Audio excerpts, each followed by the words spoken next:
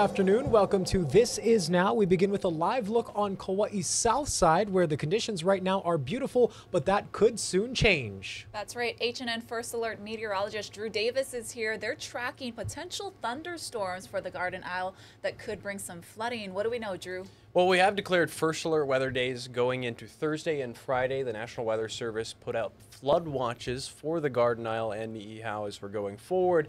There's a band of moisture that's just off the western half of the state that's going to move over Kauai going into tomorrow. Right now, you can see only first alert weather days up for Kauai. This is Thursday night into Friday. The main impacts heavy rainfall and the potential for some thunderstorms. This is Friday night into Saturday, where we may see some of that rain starting to head eastward. Some of the weather models are a little unsure about how far eastward. We may not see much rainfall over here on Oahu going forward. Again, we have flood watches up for Kauai and Niihau for 12 p.m. Thursday all the way until 6 p.m. on Friday. That doesn't include the rest of the entire island chain at all. And give you a quick look at our future cast, you can see this is Thursday morning, 2 a.m. You start to see rainfall creeping in from the west. That cold front and band of moisture out to our west is going to move incredibly slowly towards Kauai, and we're going to push even further in time. This is Thursday afternoon, around 3 p.m. Heavy rainfall coming down, a little bit of rainfall possible for the leeward sides of Oahu, and going even further in time, you see that rainfall and the potential for thunderstorms continue to develop. This is Friday at midnight, so we're going to continue to see that heavy rainfall develop throughout Thursday afternoon, Thursday evening, and get the heaviest going into Friday night where we'll see the heaviest rainfall going forward. And you see it kind of just hang around Kauai throughout Friday. And then in this weather model, push further westward. The main thing that we're tracking is unstable south winds. All of the southeasterly winds that we've been tracking throughout today and tomorrow will provide a lot of instability in the atmosphere, providing thunderstorm potential near Kauai throughout Thursday and Friday. And some of that rainfall may head eastward Friday night into Saturday. How far eastward, we're still figuring out in our forecast. So you can expect heavy rainfall going forward throughout the next couple of days for Kauai. Those flood watches and first alert weather days um, continuing Thursday into Friday. Keep with us. We're going to be tracking this system all the way into the weekend. Awesome. Thank you so much. Our Drew Davis here, keeping an eye on all the weather. And to our other top story now, after decades of debate, the city has announced its plans to begin removing the Ha'iku stairs, also known as the Stairway to Heaven. Now, Nakoa Companies was awarded the $2.6 million project. Here's some of what was said at a press conference this morning. There's 664 modules up there. All of them will be removed, except the railings at the landing zones or the, the landing platforms they will remain intact. It will be um, done by um, connecting the modules with slings and taking a 500D, Hughes 500D helicopter and removing it one by one. And we've got a congested area plan, congested area plan that's been approved by the FAA. And uh, at no time will any of the loads cross traffic. It will fly over the, the H3 tunnel and, and, and we'll land it in the Omega station where it'll be disseminated from that point on. I started out in the process on a very personal level saying, let's see if we can save the stairs. Let's see if that's the right thing to do. And over the course of months and meeting with all kinds of people and the discovery and the effort we put into it, I can promise you this was not a capricious decision.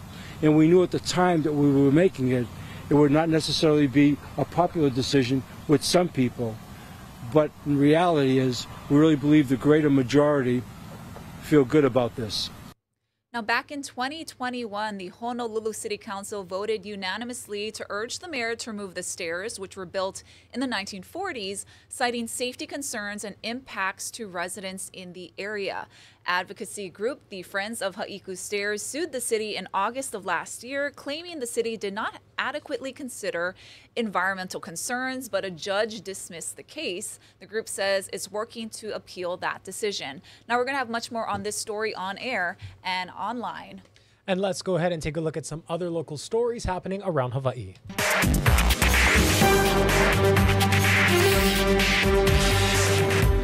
The Environmental Protection Agency announced a new rule today to limit harmful chemicals in our drinking water. The agency says the change will prevent thousands of deaths and reduce tens of thousands of serious illnesses. Michael George reports from New York. The EPA announced a new national drinking water standard to protect Americans from toxic chemical pollution.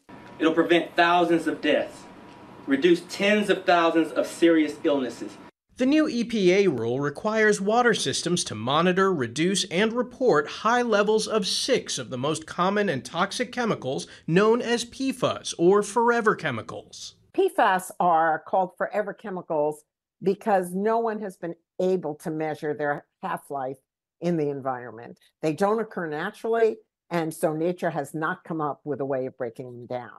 Exposure to high levels of these chemicals has been linked to cancers, liver and heart issues, and developmental issues for infants and children. You can't smell these chemicals, you can't taste them, you can't see them um, at levels that are dangerous to your health. So that's why these new rules are so important. This is the first ever national legally enforceable drinking water standard. The EPA estimates it'll reduce PFAS exposure for approximately 100 million Americans. There are about 15,000 different types of these human-made chemicals. They're used in everyday products, including food packaging, nonstick cookware, cosmetics, and other personal care products. The EPA estimates 6 to 10% of the 66,000 public drinking water systems in the country will likely need to make changes to meet the new standards.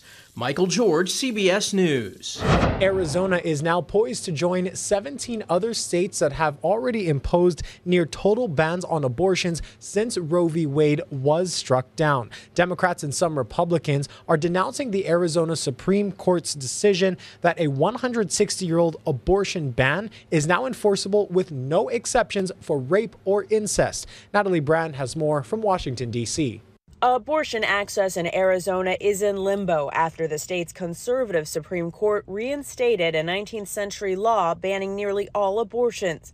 While a lower court reviews the law's constitutionality, the state's Democratic governor is blasting the ruling. This is a devastating decision that will have huge consequences. Governor Katie Hobbs is calling on the state legislature to repeal the ban first enacted in 1864 before Arizona even became a state. They could uh, gavel in today and make a motion to repeal this ban, and they should do that. I'm hopeful that they will. The 4 2 decision overrides Arizona's current 15 week ban, and the court warned that all abortions except those necessary to save a woman's life life are illegal, with doctors facing a two to five year prison sentence. Today's decision should be celebrated, and we're very hopeful that voters will recognize that life is a human right. Arizona is a critical battleground in the presidential race. On the campaign trail in Georgia, former President Trump was asked about the ruling. Did Arizona go too far? Yeah, they did, and that'll be straightened out. And as you know, it's all about states' rights. That'll be straightened out. On the Democratic side, the Biden campaign boosted ad spending in Arizona within hours of the decision. The vice president will visit Tucson later this week. To stop bans like this, we need a United States Congress that will restore the protections of Roe v. Wade.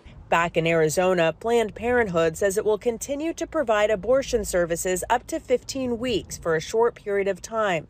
Natalie Brand, CBS News, Washington. Hawaii County Police are renewing their request to the public for help in finding a missing Pa'auilo woman. 61 year old Haunani Trask Gibson was reported missing by her family last November. They say that came over eight months since they last heard from her. Police conducted an extensive search at the time, which included a canine and a helicopter. Gibson is 5 feet 2 inches tall, 156 pounds, with brown hair and brown eyes. If you have any information, you're asked to contact police at 935 3311. And now HNN investigates a Kona psychologist who's getting to choose his possible punishment for alleged sex crimes against a 14-year-old patient. Our Allison Blair reports on the plea deal that some say is unusual. Ruben Layla was facing up to 20 years in prison without the possibility of probation. Now he'll likely serve a fraction of that. HNN Investigates took Layla's plea agreement to a legal expert who told us while that part's typical, this isn't an average deal. This particular plea agreement that I reviewed is very unusual. Legal expert Victor Bakke has practiced law 30 years and says a deal like this is rare. Because it gave the defendant the option to pick and choose which scenario, so to speak, that he wanted to plead under. Last June, Ruben Layla was indicted on four counts of sex assault. Records revealed the victim's family was seeking help from its Kona based nonprofit, the Loving Service Foundation. The facility was located on a 22 acre compound off Huehue Street. It was there the 72 year old is accused of repeatedly sexually assaulting a 14 year old patient. Court records show the abuse started in 2019 and continued seven months after the clinical psychologist convinced the boy's parents to let the victim live with him while receiving treatment. According to the nonprofit's website that has since been taken down, the facility specialized in treating children and teens who were dying or suffering from chronic illness. Last month, Layla agreed to a plea deal.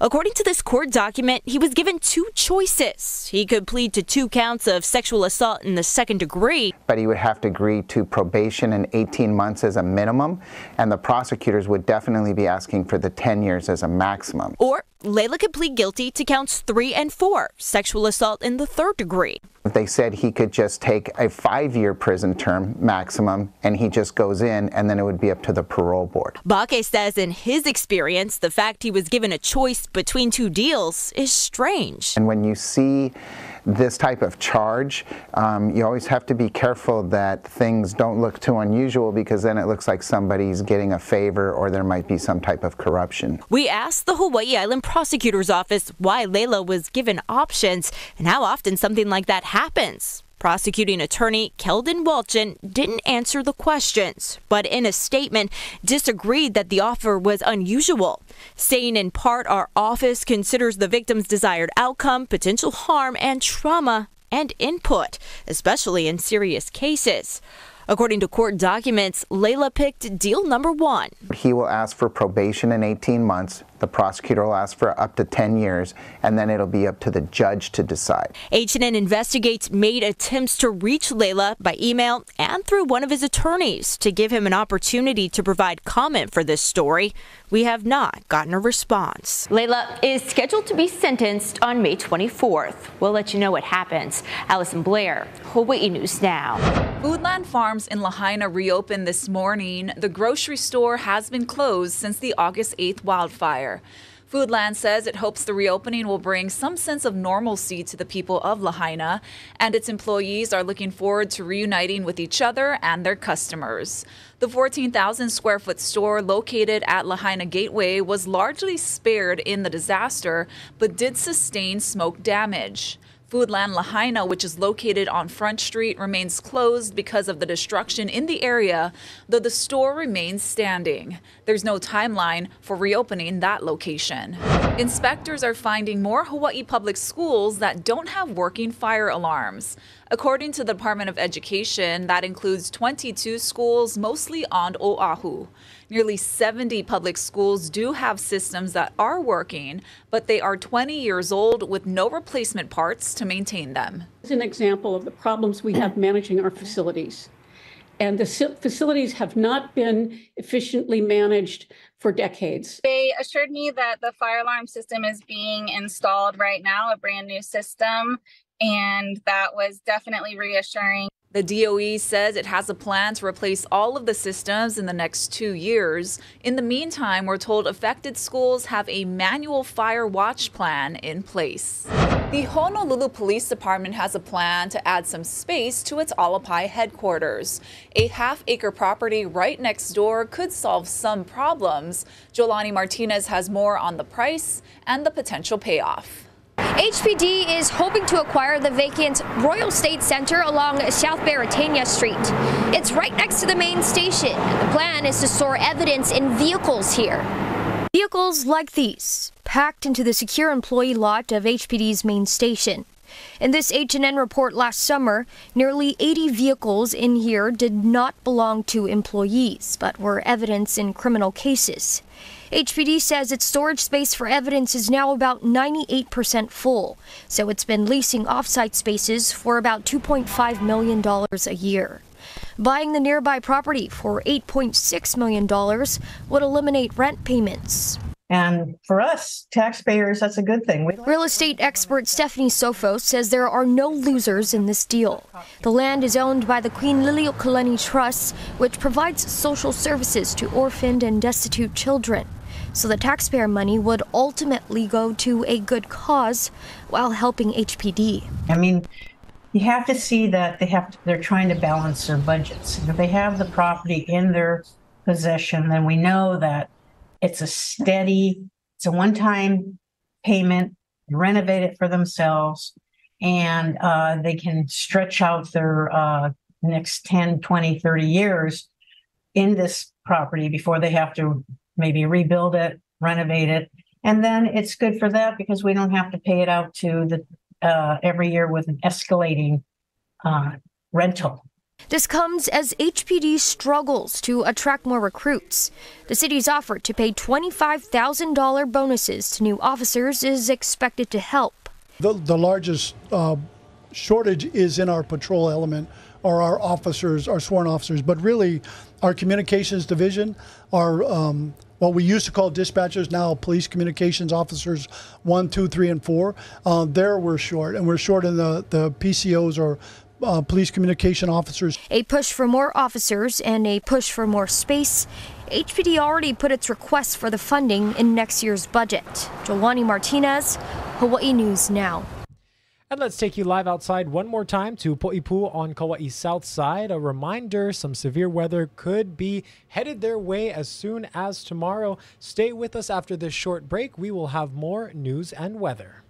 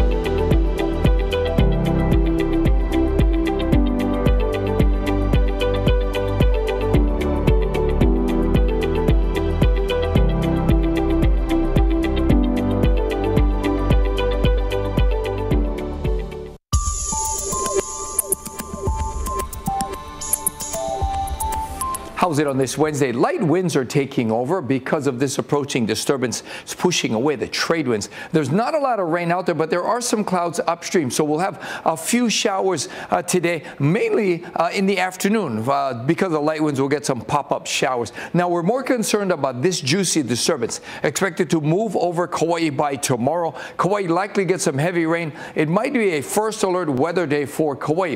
And then the moisture from that system going to drift down over the rest of the state over the weekend with uh, scattered showers and possible thunderstorms over the weekend. We're talking statewide. So heads up, could be a wet weekend. But those winds will remain rather slow over the weekend as well. They're slow right now. They'll remain under 15 miles an hour through the day. And because of that, it's likely to be fairly dry through the day with clouds building in the afternoon. And that cloud buildup could spawn a few spotty showers, maybe even some spinners. And this is what we'll likely see uh, over the next few days. Although, like I said, with that disturbance coming in, we could see some heavy rainfall over the weekend statewide, especially for Kauai tomorrow.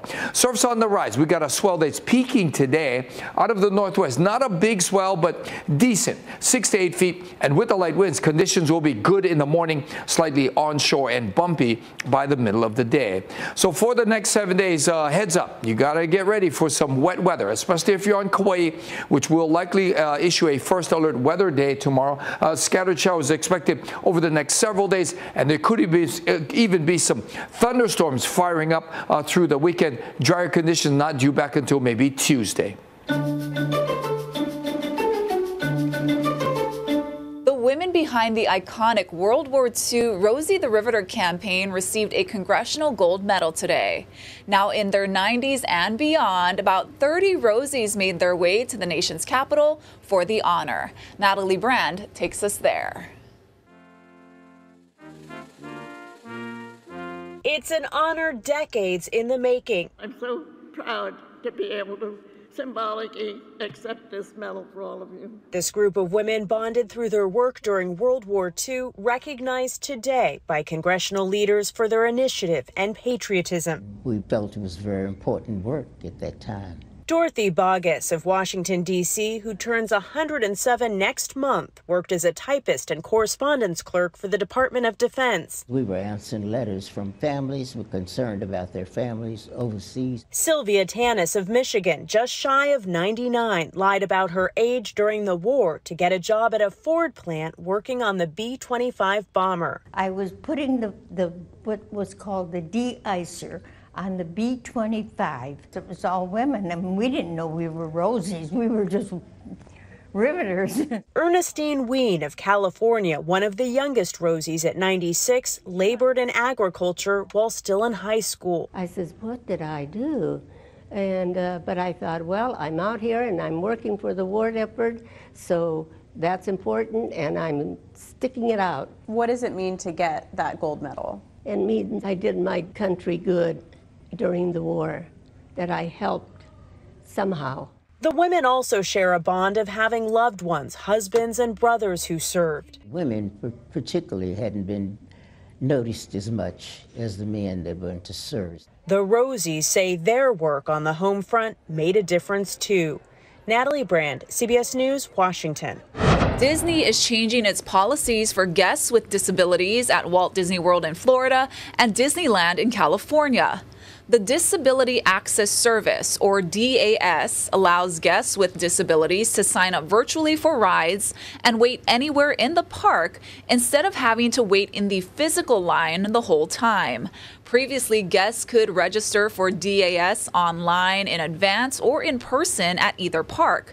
At Disneyland, this will stay the same, but at Disney World, guests can only enroll in DAS with a virtual video meeting starting May 20th. The company is also updating who qualifies for DAS. The new policy states DAS is meant for guests who can't wait in line for an extended period of time due to a developmental disability like autism.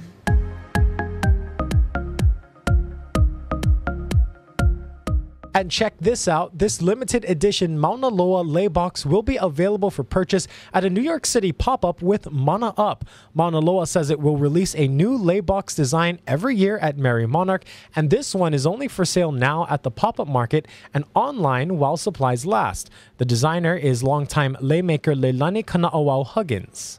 They wanted it to represent Hawaii they wanted it to represent uh, Mauna Loa on the Big Island. And so the colors for me have always been red, orange, this fiery um, lei of aloha. The Mana Up pop up market in the Big Apple runs from April 26th to April 28th. And more good news a Kahalu'u woman is a finalist in a national contest looking to crown America's Ice Cream Vendor of the Year. She needs your votes. Zoe Green is a licensed pharmacist. She also runs a nonprofit. But when she realized there was no ice cream vendor in her community, she became one. She didn't have a truck, but she did have an electric bicycle, so she hooked up a trailer to hold a small freezer and generator.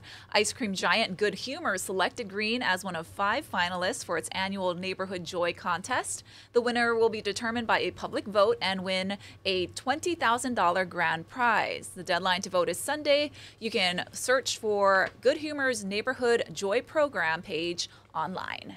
We love it. Good luck to her. Yeah. And before we end today, I want to send a really quick mahalo to the entire town of Hilo. It was such a fun week there at Merrie Monarch. We made so many friends, uh, and, and Ohana, everyone really just becomes Ohana there. Uh, uh, Olaho Designs. We also saw Auntie Joni May, who was a local weaver there. And of course, let's not forget our crew there from the Sunrise team to the Noon team. And of course, Corbin, uh, our dedicated cameraman there. Uh, just so many good vibes there in Hilo. Uh, if you have never experienced Merrie Monarch, consider going next year because it just gets more and more fun every single year. So here's a heartfelt mahalo to everyone who vala'aud with us and talked story with us, and especially to the people of Hilo for opening up their town for the amazing Merrie Monarch 2024. Aloha, everyone.